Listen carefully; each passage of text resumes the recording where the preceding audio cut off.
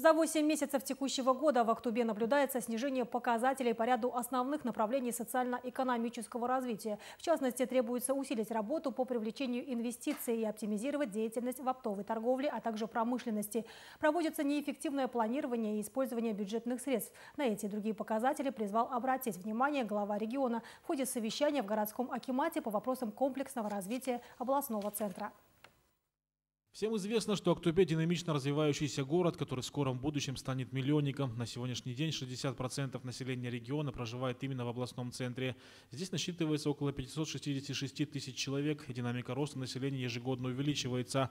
По сравнению с прошлым годом в Актубе на 5800 человек стало больше. В этой связи важно решать имеющиеся проблемные вопросы, реализовывать новые проекты промышленного и социального направлений, обеспечивать население всеми благами цивилизации.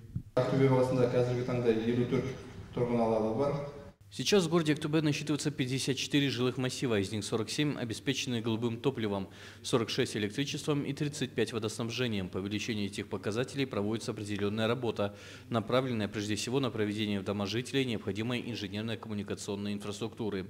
Уже в текущем году реализуется ряд проектов в этом направлении. Так, с этой целью уже подготовлены 7 проектно-сметных документаций, разрабатывается еще 5 ПСД, проводится работа по обновлению сети автомобильных дорог.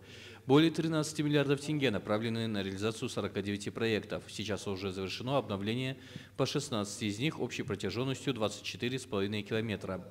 До конца года завершим еще 13 проектов, остальные являются переходящими. Немаловажный вопрос – вывоз твердых бытовых отходов. Сейчас по городу действуют три мусоровывозящие компании, однако остается актуальным вопрос вывоза крупногабаритного мусора и в целом качества работ по благоустройству областного центра. И это несмотря на увеличение расходов по содержанию города и закуп спецтехники на 2 миллиарда тенге. Важнейшими являются и жилищные вопросы.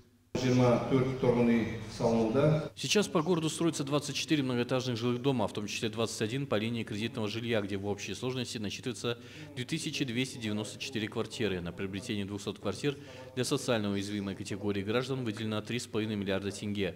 Проводятся работы по благоустройству дворовых территорий, оборудованию спортивных и детских площадок. В этом способствует программа «Бюджет народного участия». В 2023 году реализуется 71 проект на общую сумму свыше 1 миллиарда тенге, 48 проектов воплощаются в жизнь по району Астана и 23 по Алматинскому району.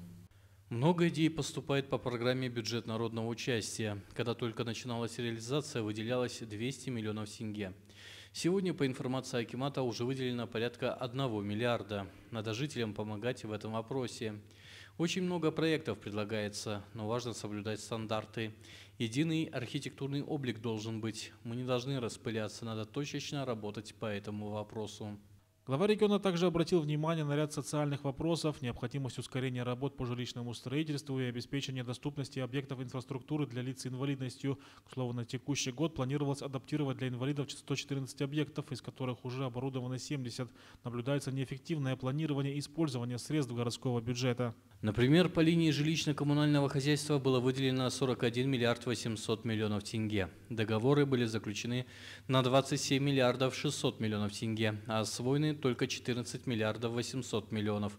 Таким образом, неосвоенными оказались 65% выделенных денег.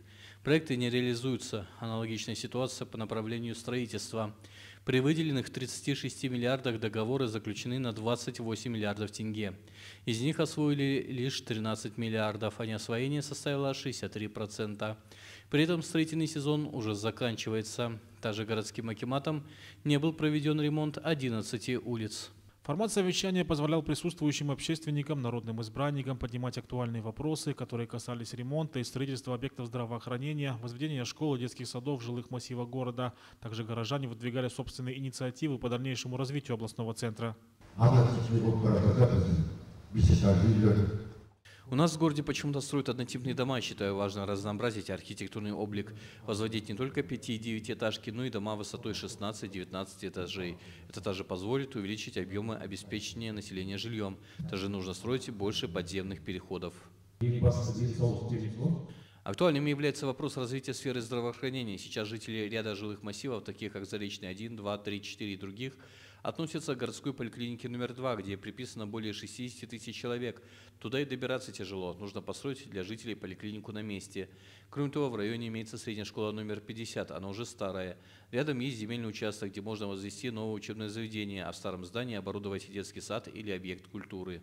Как было отмечено, вопрос строительства новой поликлиники будет рассмотрен. А что касается новой школы, то в планах возведения объекта имеется. Также глава региона поручил системно распределять деятельность. Требуется решить вопрос с местом расположения двух школ, которые планируется построить в микрорайоне Батыс-2 и в целом возводить объекты в рамках национального проекта «Комфортная школа». В Батыс-3 уже сейчас следует предусмотреть новую современную котельную, чтобы избежать проблем с теплоснабжением. Важно реализовывать инженерно-инфраструктурные проекты, заниматься благоустройством, уделять внимание развитию городских окраин. Нагрузка очень большая на город сейчас идет. Есть и майнинговая, есть и миграционная урбанизация. Этот процесс мы не остановим, поэтому требуется четко определить наши действия. Самое главное – это строительство, но только точечная застройка. Нам нужно подстраховаться – на выделение участков под индивидуальное жилищное строительство мы пока будем объявлять мораторий. Вы знаете, что временная земля не выдавалась, потому что нагрузка большая. Мы еще не решили вопросы с новыми застройками, которые образовались вокруг нашего города.